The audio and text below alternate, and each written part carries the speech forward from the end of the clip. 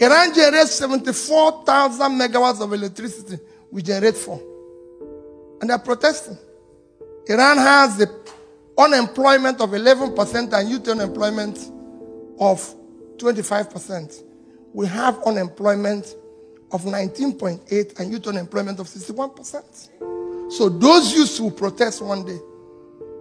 Those of us who happen to be lucky to live in Ikoyi and Victoria Island, I say to them every day, if we don't look for food for those who live in Ajegunle, one day we will not be living.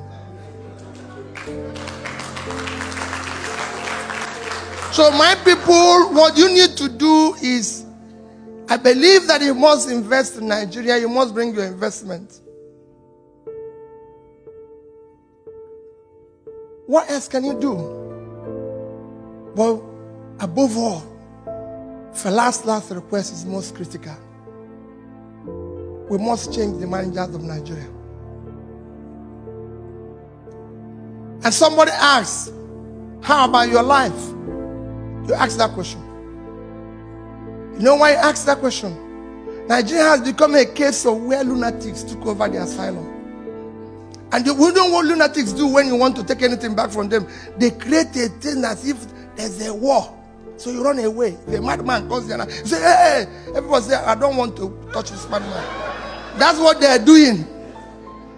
We need to take it back. We need to become as mad as they are and take it back. They can't manage it. You have a critical problem. The managers of your country, I'm not talking about president or governor, anybody.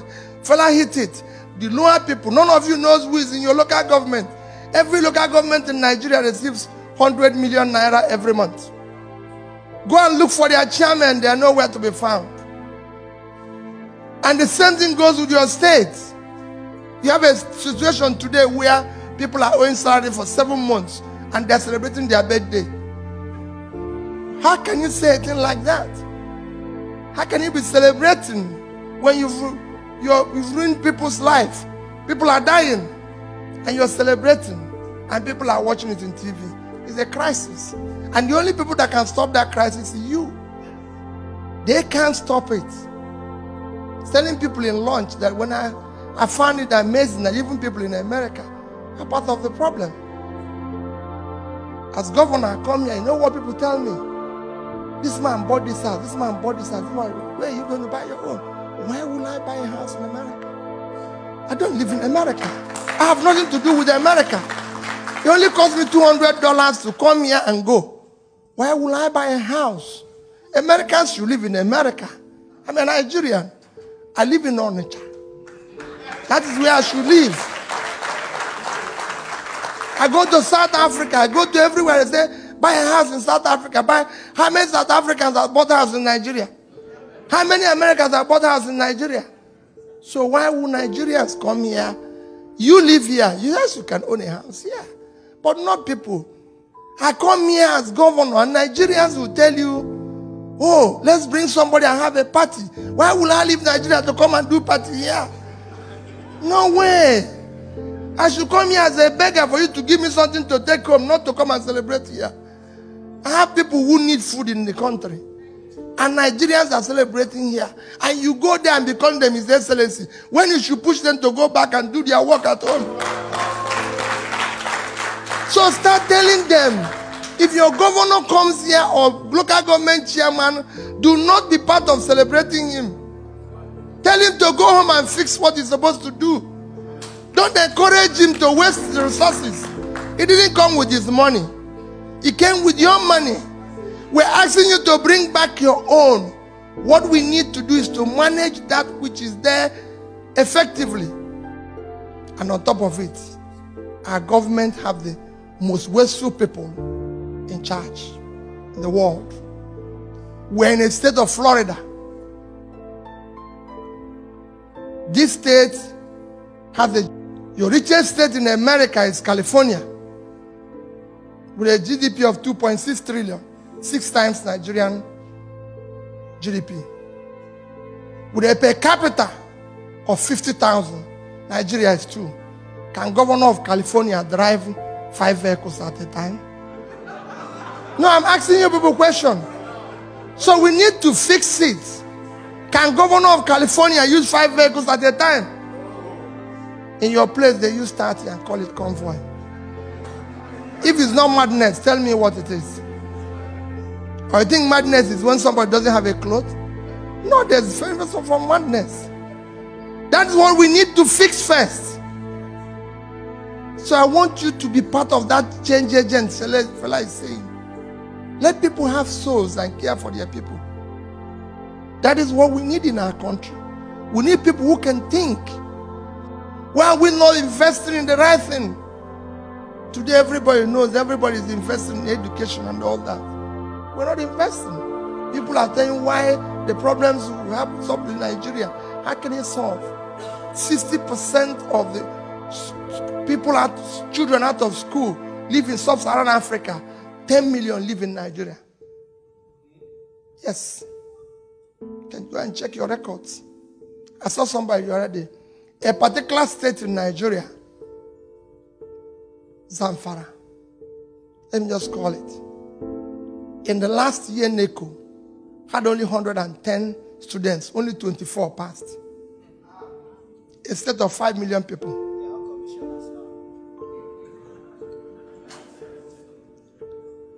Twenty-four. When another state has almost two hundred thousand for the same work. It's Nigeria. Every part of Nigeria is important to us. We have to ask that question. Why? What is happening? So when people, we're not Nigerians staying here, your investment is critical, but what is more critical? That you become part of the change agent. On top of this type of situation, you still have people like me who are elected. Only in Nigeria, you elect people. People ask me now while we're eating lunch, what is the problem? I said, the problem is the people. It's only in Nigeria that you elect people, you elect people. They don't have car, they don't have anything. Six months, they build a house, buy 20 cars, and call it for Thanksgiving, and people will go there. And they will be praying in the church, telling God to bless them. And the bishop will preach that wherever they got the money, should give them more when they have to call police. Because they know where the money came from. Everybody knows where the money came from. But they are still celebrating it. He comes to America and buy a house, and they said, if you see his house, and it's in choice areas. When he's in Washington, they tell you this place, this man owns the house here. In New York, this man owns the house here. With whose money? Let him show you his business. His daytime job. That earn that money.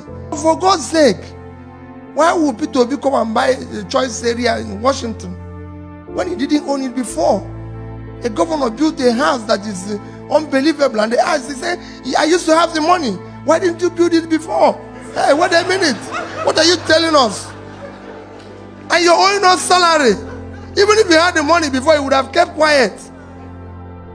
The rascality must stop. That's what we need to do first.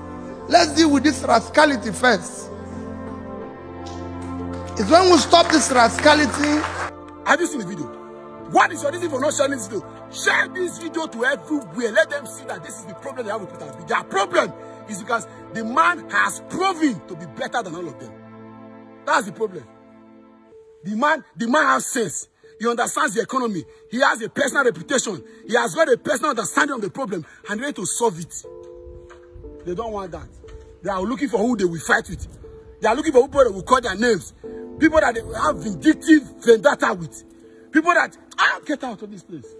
And is a, and we must stop this era. I personally was happy when President Muhammad Buhari became president of Nigeria in 2015, sorry. No, I was happy. We were able to unseat an equal bet government. I will be happier in 2023 when we will see Peter Obi become president because for the first time, we are going to show to these two parties that Nigeria or the power actually with the people. What is democracy? We are going to prove to them that the power actually with the people. That's what I want to do. We must continue to sensitize our people from the grassroots to the diaspora that power is actually with the people. And one we can do that is to share content like this. Don't let anybody deceive you. and tell you that we cannot win the election. That's a lie from the pit of hell. We can win this election and we'll win it. Share this video and then get out.